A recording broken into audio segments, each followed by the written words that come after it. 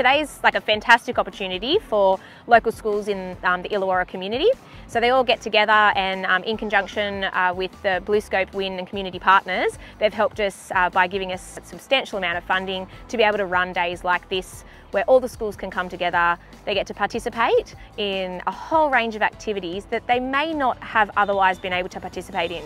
And I think one of the key aspects of it all is that they're also making that social connection with other peers um, who, who are you know, similar, maybe enjoying the same sports who they wouldn't have normally met.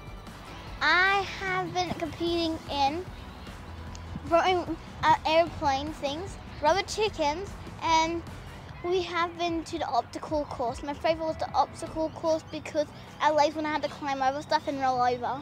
Uh, throwing, throwing rubber duckies that make a sound.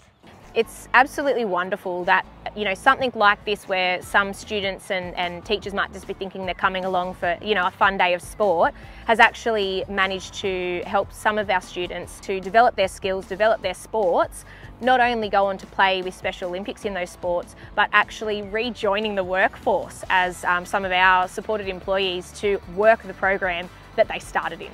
It's, it's my job, I'm, I'm, I'm working at the cafe for the Disney Trust at the plant room.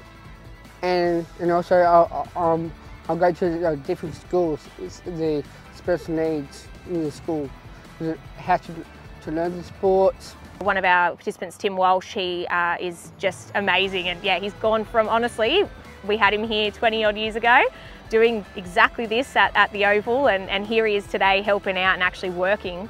My job is, is um, uh, more happy and it's more inspired of me and who I am.